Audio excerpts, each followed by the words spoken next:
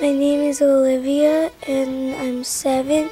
The best thing about Harlem School of the Arts is the different things that you get to see and hit. Like when the Harlem School of the Arts has a lot of concerts and the concerts are really fun to see because at the end when you do it it's like wow let's do it again i enjoy making the sounds and doing the doing the concerts and playing. I feel like it's a really good part of me.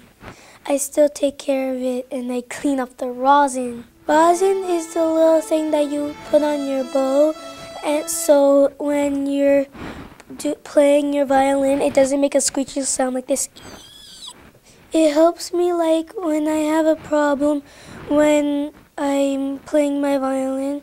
Mr. Burnett helps me. It feels like it's really good inside. If I make a mistake, he helps me correct it.